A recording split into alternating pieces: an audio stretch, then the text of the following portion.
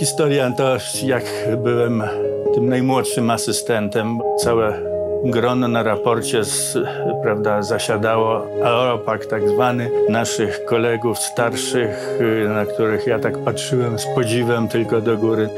I ja byłem sobie w kąciku w bibliotece na tym krzesełku takim, które tam prawda, zawsze miałem, bo, bo ja przychodziłem mocno wcześnie, żeby zająć jakieś miejsce. Na raporcie był cały tłum ludzi, nawet i z zewnątrz, bo wszyscy na staże przyjeżdżali do kliniki. I tak cały czas miałem zadanie przynieść kolego, to profesor zawsze mi, kolego, kolego, tam niech pan przyniesie mi z biurka tam jakieś papiery, listę obecności, czy, czy, czy książeczkę, której zapomniał. No i ja tak biegałem przy tych drzwiach, dlatego było mi bardzo wygodnie i poręcznie, bo nie musiałem kluczyć między starszymi kolegami, a siedziały przy panu profesorze, pani profesor Czekajska, pani profesor Postępska, profesor Miturzyńska, profesor, docent Florkiewicz, no było dużo tytułowanych głów i na, na wizytę się szło.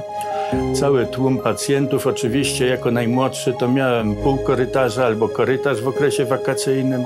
No i tak co drugi dzień profesor Czekajska przychodziła jako ten szef na odcinku, czy, czy docent Florkiewicz. Mówi ten do domu, ten do domu, ten do domu, ten do domu.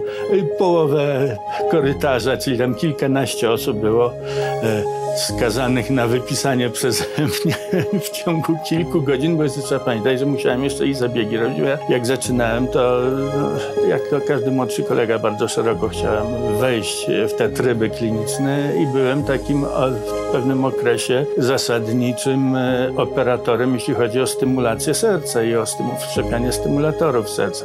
Sytuacji śmiesznych to nie pamiętam, dlatego że tutaj, e, jak wiem, e, choroby układu krążenia charakteryzuje się tym, że trzeba decyzje bardzo szybko podejmować i nie jeden raz wychodziłem z pracy i w domu myślałem, czy pacjent dostał dobre leczenie, czy zabieg się nie powikła, czy nie będzie krwiaka, czy nie będzie jakiejś, prawda, odmył płucnowej. I te myśli to towarzyszyły mnie często prawie każdego dnia. Ciężko było zasnąć i człowiek myślał o tym, co się z pacjentem dzieje.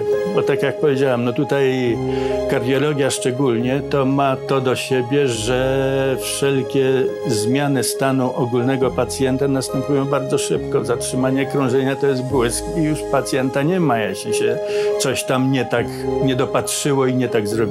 Teraz troszkę spokojniej oczywiście, bo mam asystentów, których sobie też wychowałem i mamy teraz tym szczytem takim, to było już takie E, poszerzenie działalności kliniki, że powstały oddziały kliniczne. Jestem zadowolony z tego dzisiejszego rozwoju i kierunku, który został nadany i przez moich nauczycieli, i przez byłych szefów, no i przeze mnie.